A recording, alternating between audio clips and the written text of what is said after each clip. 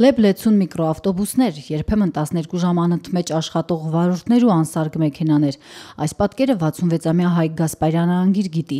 Մոտ 10 տարի աշխատել է տրանսպորտի ոլորտում եւ վստահ է, եթե գծատերեր չլինեն, շատ հարցեր կլուծվեն, անգամ 100 դրամ սակագնով։ Եթե այսքան գումարով գնա գծատերերի գերման օրինակ պետք չէ։ Ես մտա այս ոստարկը կամ դրամարկը մուծեի ու ոնց որ Վրաստանում, ոնց որ Ռուսաստանում Այդ դեպքում իրանք չեն հարստանա։ Ո՞վ։ Այդ գծատերերը։ Թու հարստան, թու գնա ծիրան աճացի, վաճառի հարստան։ Մեքենան է իրան, խնդրեմ իրա մեքենայի վարձը կտամ ես։ Ու չի ստացվի, որ այդ 100 դրամը էլի քչություն չի անի։ Չէ, իհարկե քչություն չի անի։ Բնականաբար այդ մի հոգին արդեն պետք չի։ Այդ մի, այդ մի շղթայի մի օղակը բացակայ է վարդը։ Ուղիղ վարորդ պետություն։ Տոնորերի կարյան այդ ամբողջ Նախկին վարորդն այսօր արդեն անարգել է խոսում տրանսպորտի վիճակի մասին, ասում է, տարիներ շարունակ ամեն օր 15 ժամ ղեկին է անցկացրել։ Օրվա վերջին վաստակած 27000-ից 28000 դրամի գրեթե կեսը սակայն մտել է գծատիրոջ գրպանը գիծը սպասարկելու համար։ 13000 կոպիտ ասած դուրս է տալի գծի համար մի 6-7-8000 գազի նայած թե ինչ կան ռեսս չում լավ մեքենա թե ված շատ է ծախսում թե քիչ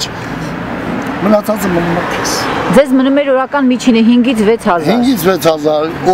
օրերնում նաև 7000 չեմ ժխտում։ Վարելիքի ծախսը փակելուց հետո մնացած 5000-ից 7000 դրամը ուրախությամբ տուն կտաներ, եթե ավտոմեքենայի անսարքության համար ստիպված չլիներ սեփական գրպանից վճարել։ Մենք ավտոպարկ ունենք, ավտոպարկում վճարի ոնց որ դրսի արեստավորին, մեր ավտոպարկն է վճարում։ Մեզ շահագործում են, ասում է Հայկն ու նշում, որ տարիներ շարունակ աշխատել է շաբաթվա 7 օրն անընդմեջ առանց հանգստի։ Մենք չգիտենք ինչ բանա բյուլետենը, մենք չգիտենք ինչ բանա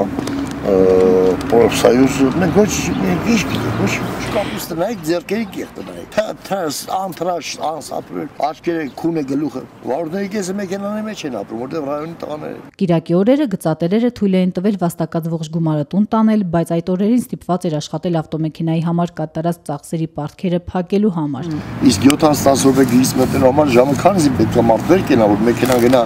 լվանա սրբի մաքրի, մտնի գազ զապրանկանի, լիսկավորի ու գա մտնի երթուղի։ Ժամանակը։ Հետո? Հետո դրանից դու 15-16 ժամ, մինչև 11-ը։ չէի քոքնում։ Խին խոսքն է օգտելը։ Օգտելը խոսքը չի։ Հալից իմում է։ Արդեն կես տարուց ավելի տրանսպորտի ոլորտում խնդիրների մասին խոսում են նաև գծատերերն ու քաղաքային իշխանությունները։ Ասում են, առանց սակագինը բարձրացնելու անհնար է քաղաքակիրթ պայմաններ ապահովել։ Նախկին վարորդը մինչդեռ վստահ է, առաջին հերթին պետք է ոչ թե թանկացնել, այլ գծատերերի ախորժակը զսպել։ Դե նայած թե ինչ հասցամ ցեպ են ուզում գցեն իրանց ոզին։ Էլ ինչա գծատերով չի ուզում արստան։ Ազատության այն հարցին, թե ցանկացած մեկը կարող է գծատեր դառնալ, նախկին վարորդը պատասխանում է, որ հնարավոր չէ, չեն թողնի։ Գնում եք ինչ որ մեկի ասում եք տեսեք իմ մեքենան ավելի լավն է, քան դե Պողոսին է, Պողոսի մեքենան հանեք, ես իմ մեքենան եմ մտցրել մի դիրտուր։ Հա, եթե ձեր ամեն ինչ լավն է, ինչի պետք է դուք չհաղթեք։ Դե չի կարող հաղթել, բայց Պողոսը վերի կրագիցես, ոնց որ կրագեցի։